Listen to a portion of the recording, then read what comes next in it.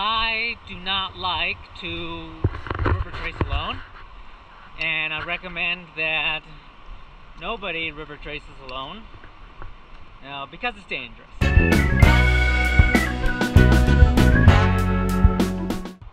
Hey everybody, I am river tracing alone now. I do not have any friends here. So less than 48 hours ago, did this whole river on a kayak. Fantastic, absolute adventure. But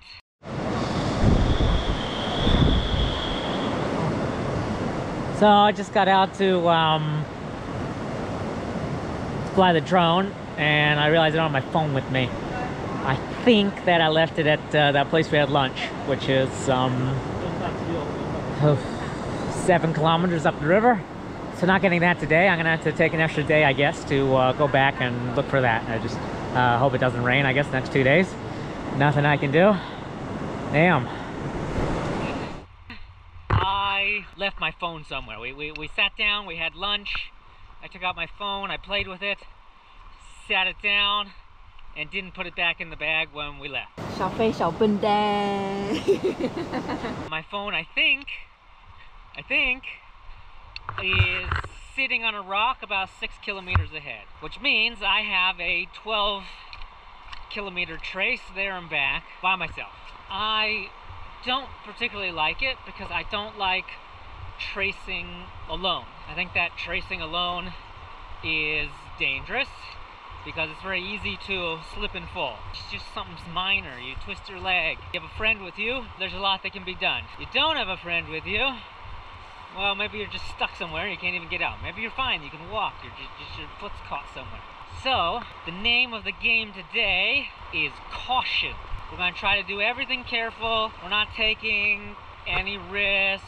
We're not going to do anything fancy. If we get to a place and it looks maybe okay to cross, but not that great, and we have to trace back a long way before there's an easy place to cross, we'll trace back. It's worth spending the extra time to just play everything safe. So that's what we're gonna do. The good news is, is I've already seen the river.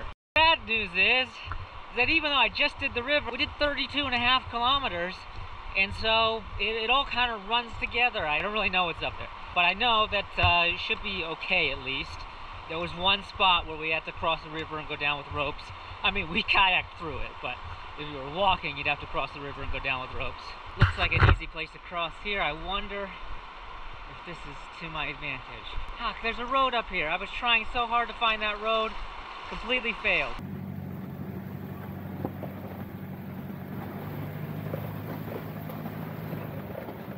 I'm at the very last farm, uh, but we're, uh, we're so high above the river and I don't see a path down. There's no way to get down. I have like so much anxiety. I don't want to say addicted to my phone. It's just in this situation when I don't have a phone, I get really anxious. There's somebody's pants here. You think that means there's like a naked person up there? I mean, like it's understandable to forget a phone, right? Like the phone, it's small, you know, you put it down and it goes in your bag. But how do you forget your pants? Like, how far do you have to walk before you realize you're not wearing pants? Pretty far, evidently, because I don't see anybody.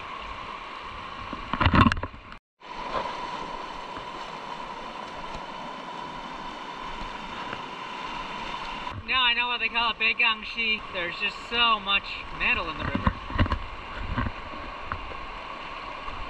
It's the first time I got in the water, so it's a little bit cold, but then my my wetsuit will start to warm it up. It is a chilly day today. It's sunny, like there is some sun, so I'm pretty lucky there, but it's much colder today than it was the last two days. So it was colder at night, so the water's colder and the air's colder.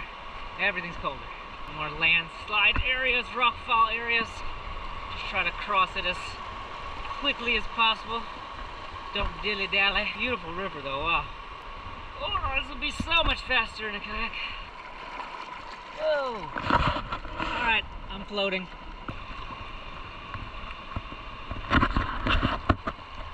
Alright, that was deep.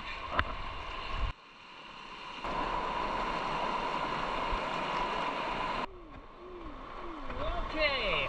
Hey, I remember that waterfall. That was the first waterfall we came to.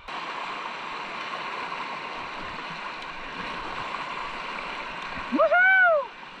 Afterwards, we saw like 12 along the way. You can see here, in the beginning, there's just not that much water, but as you go further down and down, like each of these little waterfalls that comes in, it raises the river level, you know, by just that much, but it, it adds up over 30 kilometers for sure. So after the trip, we kind of remarked to each other like, wow, we didn't see much trash. But actually, it's because we're just flying through the center of the river and all of the trash is getting deposited on the banks. I mean, it'll go back in the river next time it rains, but, you know, as the water level goes down, the, the light stuff, particularly plastics, will get stuck on the on the side somewhere. Not indefinitely, of course. Plastic lasts forever, which is why it's stupid and we shouldn't be making it or using it uh, for anything. It'll stay temporarily on the sides until the sun and stuff breaks it down into smaller and smaller pieces or or it makes its way to the ocean. Metal, on the other hand, will just stay in the middle and poke right up until you crash into it. Yeah.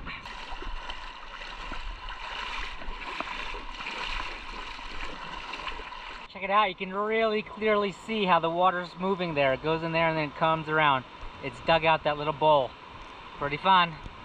I think I stopped there uh, on the way down to wait for uh, other people. Think I see people up there. They're not moving, but they're just sitting on the rock.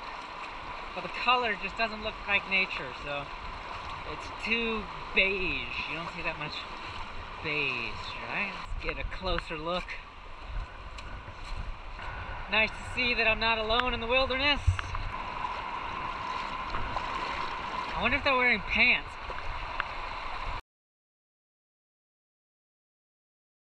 Catching kuhua says they're not big.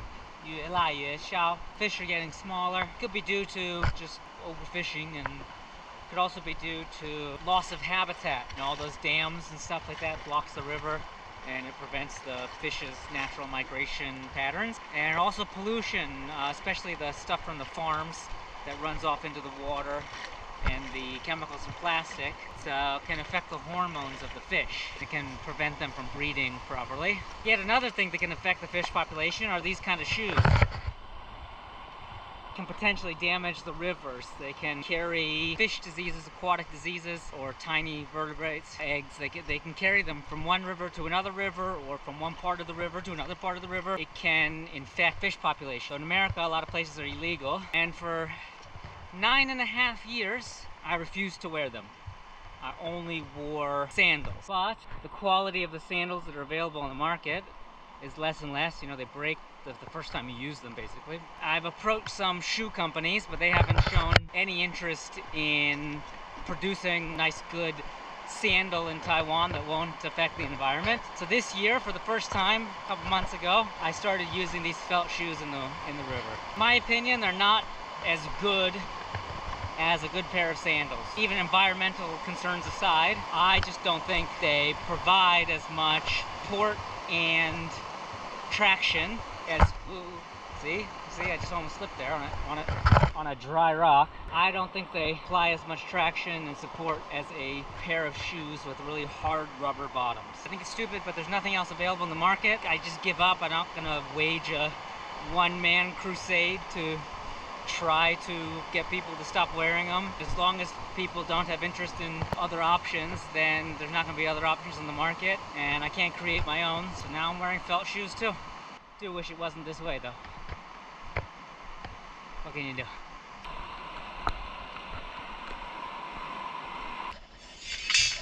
Unbelievable how much metal is in this river.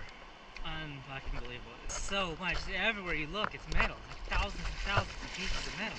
Why? Why? Now I've, reached a landmark that I recognize. This must be halfway or something. Okay, up ahead I see that rope that's strung across the river. I should be on the other side. Oh, there's a big rock here.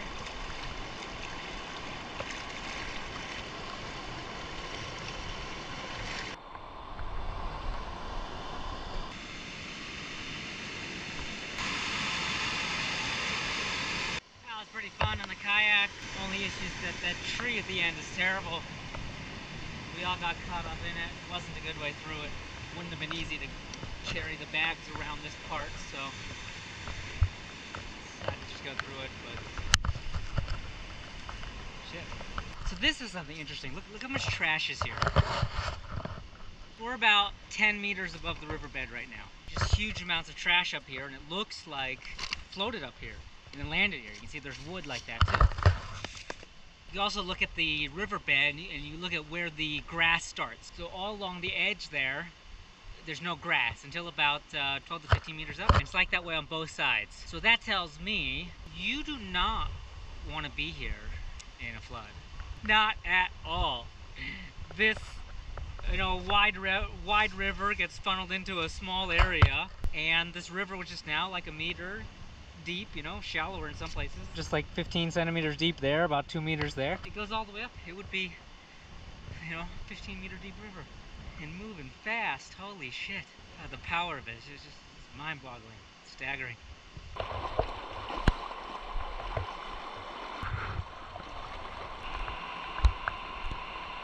I've been walking for a long time now. I don't actually know how long because I don't have a watch. But the sun's moved a little bit and judging by how hungry I'm getting, I think that I must have done at least 90 minutes. Don't know how long I've gone and I don't know how long I have left. That's just the nature of it. Just enjoy the hike, I guess. Just let the current take me, but not over anything. Uh, here, I think, is good. This setup I have here is that it actually works really well. I have the Xiaofei Shui Mui, which uses a nylon and elastic mix and super, super good. Fabric is so important, guys. Like everything's about fabric. And this fabric is a bit expensive, actually. Actually, just the fabric to make these things cost us more than like, you know, the finished product you get at Decathlon for like a Shui Mui. You can feel the difference in quality. That's why I'm always wearing these shirts because it's just the best for it. It's just, just you know, it keeps you warm, it keeps you cool. This is really good at regulating body temperature. And then over it, I have a three millimeter wetsuit vest. And then over that, I have a life jacket. The life jacket blocks the wind. The wetsuit keeps me pretty warm, and then I get a little bit of extra bonus from having the Shui Mui. And the Shui Mui dries really fast. So, like, once I'm out of the water, my body temperature dries it. What is going on here? Why is there so many pants?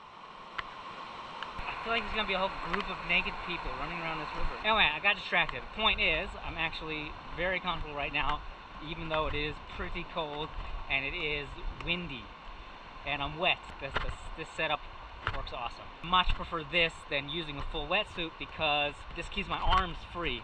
Like the Shui Mui, it really gives me a lot of mobility with my hands, whereas the wetsuit, it really restricts it. It makes your arms so tired. Long story short, these are awesome and I recommend them. Practice what I preach, so I always wear them, and you can find a link at the bottom. And also, that goes to help out the show, so I appreciate that. I can see it. I can see the waterfall that we had lunch at. I hope that my phone is there. I don't actually know it's there. That's just the last place I saw it. Wow, really, fingers crossed.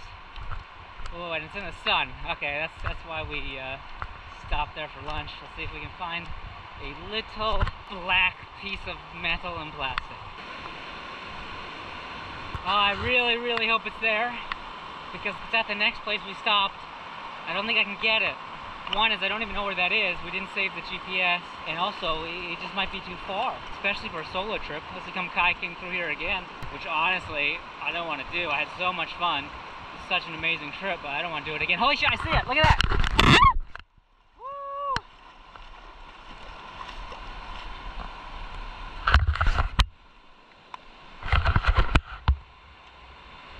Don't kiss your phone. It's just a product. It doesn't define who you are. It's just, just an object. It's not turning on. Uh, I hope that means that it's just um, turned itself off, maybe because it ran out of battery or heat from the sun. I hope it's not because the dew killed it. Let's uh, stop, have some lunch, try to charge it up, and see how things go.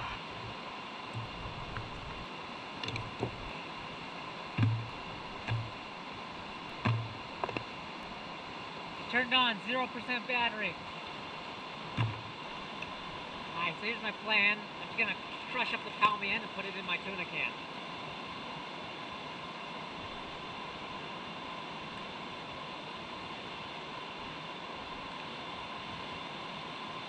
It's so windy. Alright guys, thanks a lot for going on this hike with me. It was really nice to have somebody to talk to. Um, you know, wasn't didn't really feel like I was walking alone when I was recording. well, that's uh, Balmain is dry and needs water. anyway, I'm gonna finish my lunch and then I'll head back. So thanks a lot. And unless something bad happens on the way, this will be the end of the video. I mean, something really cool could happen too. I don't know. Unless something really bad or really cool happens on the way back, this will be the end of the video. So go watch the next one already. It's right here. You see it? That one's a good one. It's really exciting. I recommend it. This one's not bad either.